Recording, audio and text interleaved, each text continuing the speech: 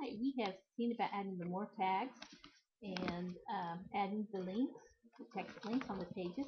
And we're going to do some more things for the text that we can use on the pages and posts.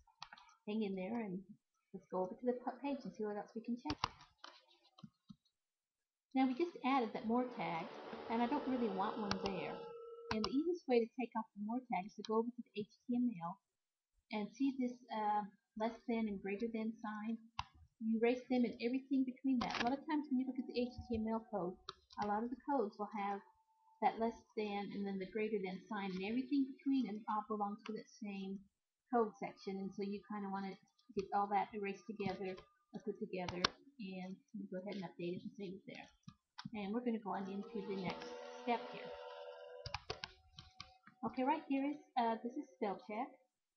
Uh, if you want to, you can uh, change it to another language because maybe you're writing in something else, another language, and like French, and what spells right for English is not going to be the same as French. They spell different from each other. So you can change that to the spell check of the language you want, and or even turn it off. Whatever. I'm not sure if it's turned off or not.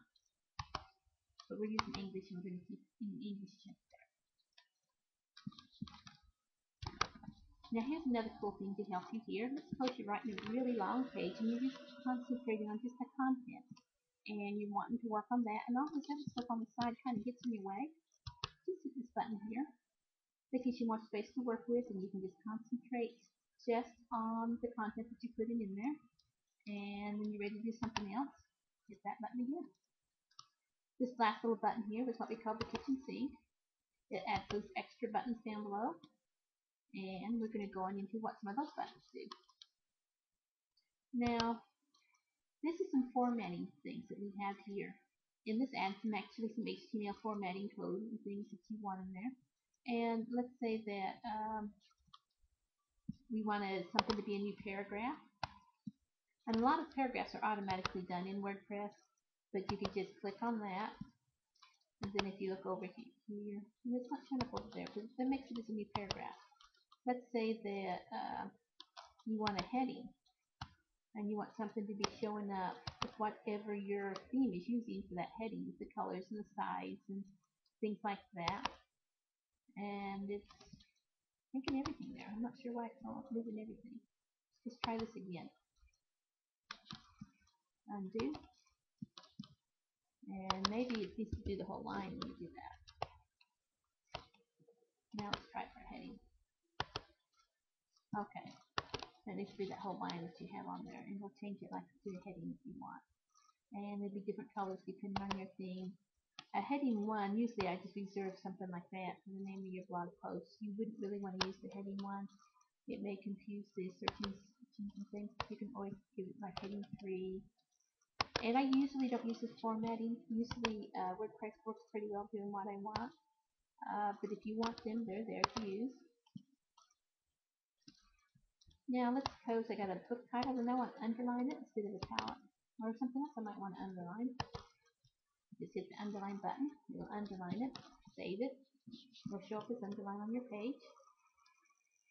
Let's see. Depends on your theme whether your theme will let you do it and how the CSS is set up. Yep, you can see the underline is there.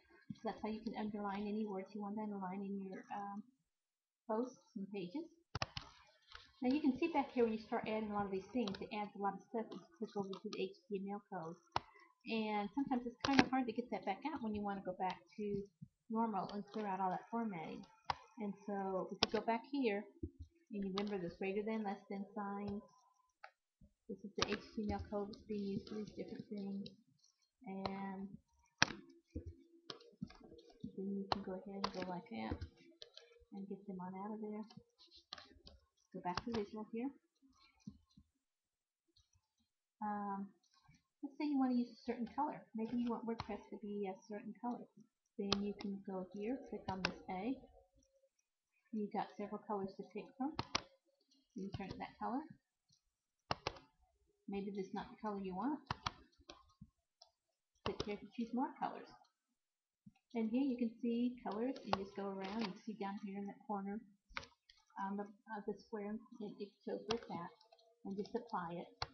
It makes a new color for you.